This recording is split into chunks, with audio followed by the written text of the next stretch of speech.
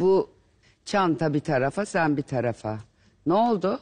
Ya çantamı röportaj verirken e, masanın üzerine bıraktım. Sonra e, bulamadım yani çantamı aradım. Ben çok güzel bir çanta vermiştim. Pembe Keşke odada. onu taksaydım. Evet Sonradan pembe odada çok ne ama renkti izin bu verilmedi. meşhur çanta bulunsaydı? siyahtı. Siyahtı. Evet, Vintage bir çanta mıydı? evet. Biri sakladı herhalde çantanı. Yani bilmiyorum. Yani böyle söylemek istemiyorum ama iki takımda da pek fazla istenmediğimi göz önünde bulundurursak bulamadım Böyle bir yani. şey Çünkü yapmayız. Biz niye öyle bir şey pembe odadaydı. Biz yapmayız böyle bir şey. Ya pembe odada her yere baktım yani. Bütün kıyafetlerin Sordun falan mu peki altına- herkese?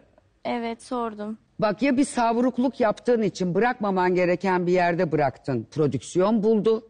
Ya e, yarışmacı arkadaşlarından biri ki gerçekten yakıştıramam. Yani çok ilkel anaokulu çocuğu tarzında bir şaka ya da baltalama olmuş olabilir. Saklayan var mı çocuklar? Yakıştıramıyorum ama gerçekten söyleyin bitsin. Dişah, Efendim? İpek Nur, Mümkün mü? çanta hiç görmediniz. Ayşe sen, Hayır. Melika. Ya yakışıyor mu bize gerçekten? Sana hiç yakışmaz. Hele bir de sen kendinle uğraşıyorsundur. Hiç sana Hayır. konduramam. Elmas zaten çok ağladı. Ben Yapma. yemek Sizde var mı yiyordum öyle bir şey? zaten. Yok. Evet, ben de Dışarıdaydım. dışarıdaydım. Ece hem saklarım hem ararım mı ne? Yok yok öyle bir Değil. şey yapmam. Sen zaten yapmazsın. Yani ben ona siyah çantayı verdim. Niye sonradan saklayayım ki? Tamam o zaman son bir prodüksiyon bakılsın da arkadaşlar odalara bakalım. Tamam bu kadar.